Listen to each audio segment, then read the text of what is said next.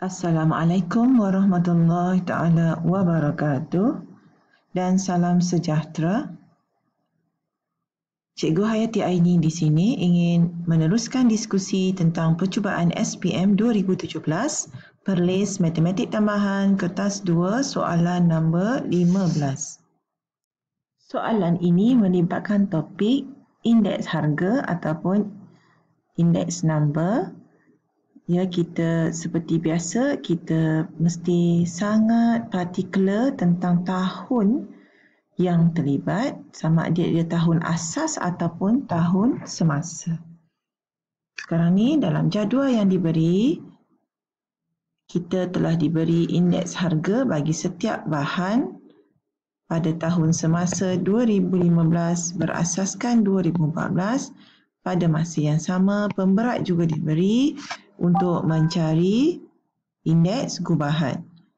Dan seterusnya dalam soalan di atas ini, indeks gubahan bagi tahun semasa 2015 asas 2014 adalah 112.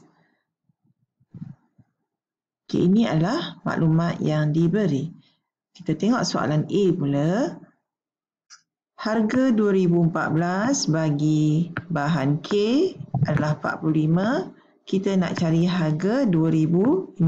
Jadi kita nak rujuk yang mana? Ya, kita rujuk indeks harga 120 dah. Ya.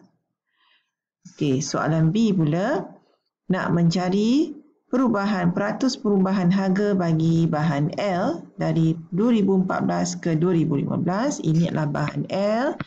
Ini adalah indeks harga. Jika kita dapat indeks harga ini, kita akan dapatlah mencari peratus perubahan harga bagi bahan L. Persoalannya bagaimana kita nak dapatkan indeks harga bagi bahan L? Ya, kita akan guna maklumat indeks gubahan 112 dan kita akan darab setiap indeks harga bagi bahan-bahan yang ada dengan pemberatnya dan kita akan dapat nilai X dan daripada nilai X itulah kita akan dapat menjawab peratus perubahan harga. Untuk soalan C pula, perancangan kita di sini adalah meningkat sebanyak 25% bermaksud dia 125. Apa yang 125 ni? Indeks gubahan. Bila? Tahun semasa 2016 terhadap tahun asas 2015. Okey. So maknanya dia di sini maklumatnya adalah I uh, tahun 2016 asas 2015 adalah 125 I bar ataupun indeks gubahan bagi tahun semasa 2015 per 2014 adalah seperti mana yang diberi di soalan iaitu 112. Ya dan soalan bertanyakan pula indeks gubahan bagi 2016 asas 2014.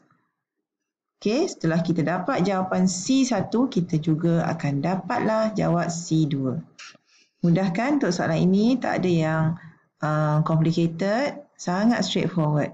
Jom kita cuba jawab sekarang.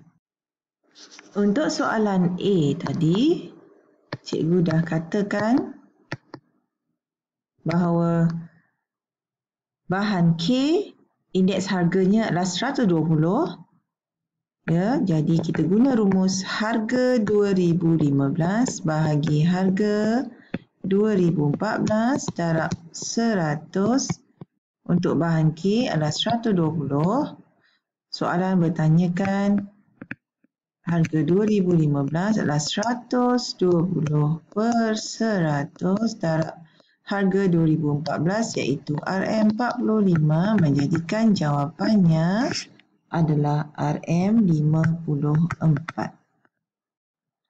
Untuk soalan B pula, mencari peratus perubahan harga, cikgu katakan tadi kita guna maklumat indeks gubahan 112.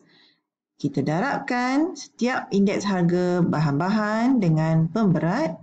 Kita akan dapat nilai X daripada nilai X akan mendapat jawapan bagi B.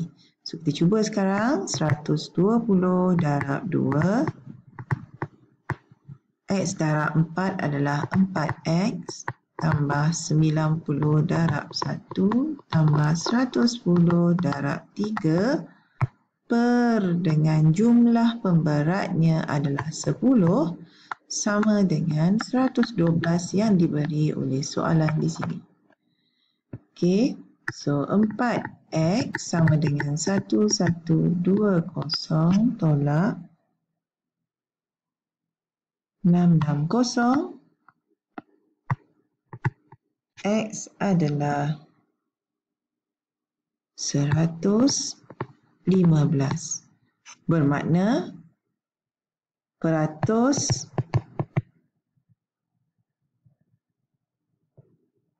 perubahan harga bahan L adalah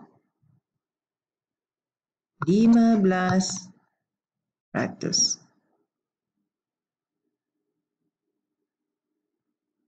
Kenapa? Sebab asas 100, 100 jika ada perubahan dia telah meningkat menjadi 115 maknanya dia 15% peningkatan. Soalan C pula maklumat yang diberi indeks gubahan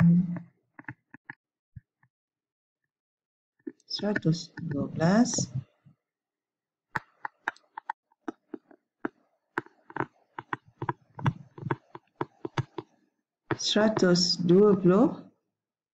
125 kita nak cari 16 asas 14 112 darab 125 per 100 bersamaan dengan 140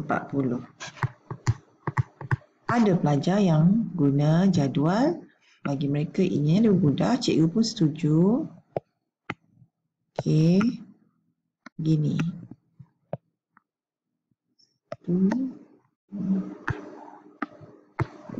Ini adalah semasa. Yang ini adalah tahun asas 14, 15, 16 14, 15, 16. Okey, 100, 100, 100. Tiada perubahan. Okey, maklumat yang diberi 112 adalah 15 asas 14. 125 adalah 16 asas 15. Soalan tanya 16 asas 14. So di sini kita boleh juga guna 112 per 100 sama dengan X per 125 X adalah 125 darab 112 per 100 sama dengan 140 Okey, seterusnya soalan ini adalah soalan C1, soalan C2 kita guna maklumat 140 ini untuk mendapatkan harga alat mainan pada 2014 diberi harga pada 2016. Kenapa kita tak guna Kenapa kita guna rumus indeks gubahan? Sebab soalan dia tanya tentang alat mainan dah. Bukan tanya tentang bahan lagi dah. Jadi dia dah kita dah dapat satu indeks yang sekata bagi semua. So ini adalah 126 per P14 darab 100 P14 sama dengan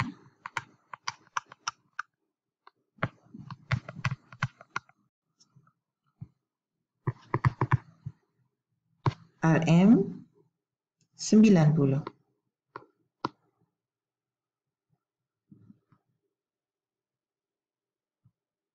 Sekian saja diskusi kita buat kali ini.